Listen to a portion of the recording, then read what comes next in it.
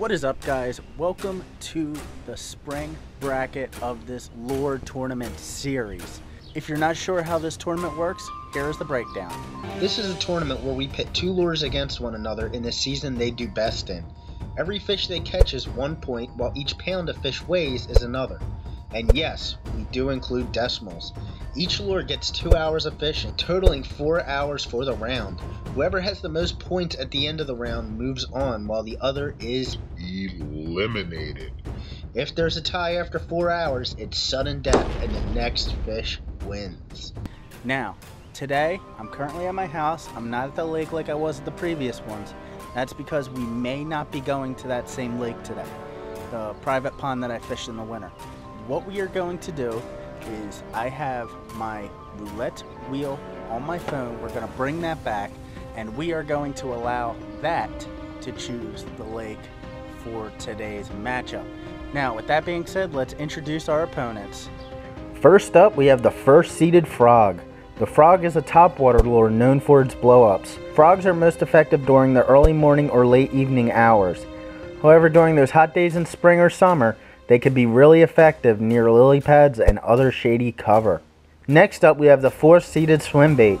The swim bait is an effective lure near submergent vegetation and can be an absolute killer during the spawn. Bass see this lure as some type of bluegill or forage trying to eat their eggs and will strike to protect them.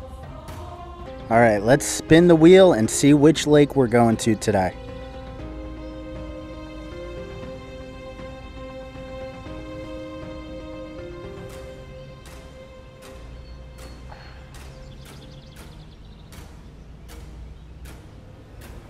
Wow. It's technically Greenwich, so I guess we are going to Greenwich today. That's where we're going to put the frog up against the swim bait. Okay, so we made it to Greenwich Lake. First up is the frog. We're gonna we have it tied on. Let's get this started. One hour on the clock and begin.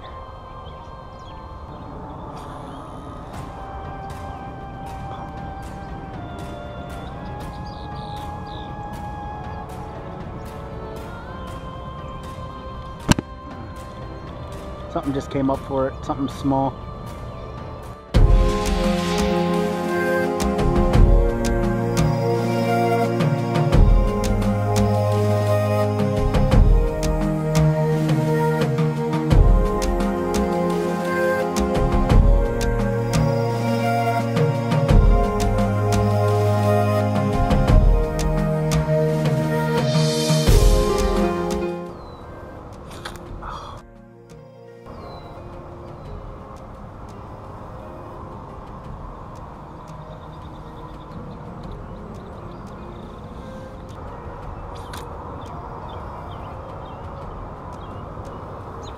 The hell is wrong with my braid?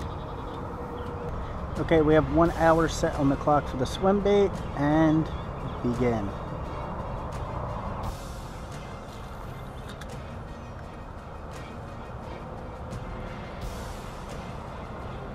There's a small little baby bass right. Here's the female.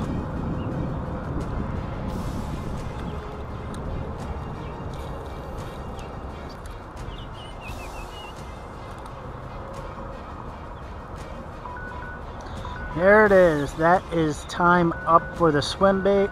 We are currently 0-0 after hour number one. Okay, so we've got the frog tied on. This is a Booyah pad crasher. We've got the frog tied on. We are giving it an hour and 10 minutes because if my last two frogs the last time I was out here broke off with 10 minutes remaining. So I had to get new frogs. I got a whole bunch of them this time. Hopefully we can get this done and catch some fish. Yes, I'm talking about you. What do you want?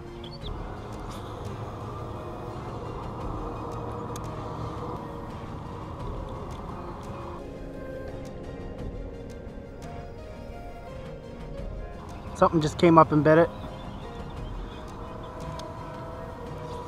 Right when I was reeling it in. I wasn't even expecting it.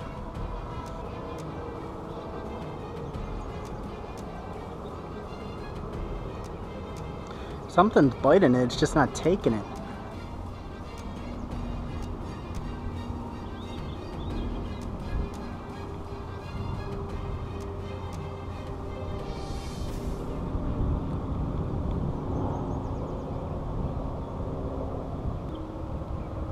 They're swiping at it, they're not taking it though.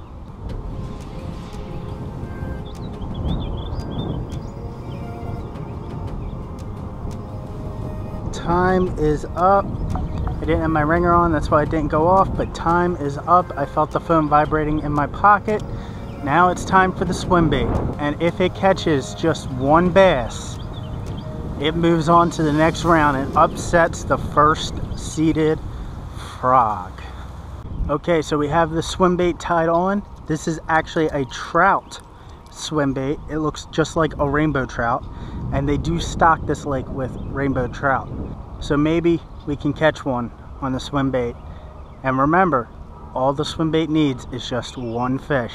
It catches one fish, the tournament's over. If it doesn't, it goes to sudden death.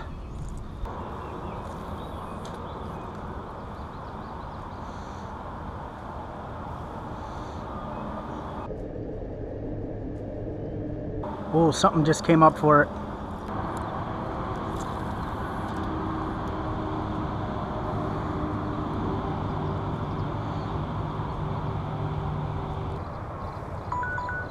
There it is. There is time up for the swim bait. So after two rounds, we are still scoreless. So what that means is we go to a sudden death fish off. The next lure to catch a bass wins and moves on to the next round. Whoa, whoa, whoa. We're getting to the best part, sudden death, and you're about to stop it? Yes, I am leaving you on a cliffhanger. The bass are on their beds. They're kind of finicky. They're chasing they're chasing the lure. They're just not coming up and committing to biting it. So, with that being said, stay tuned for sudden death.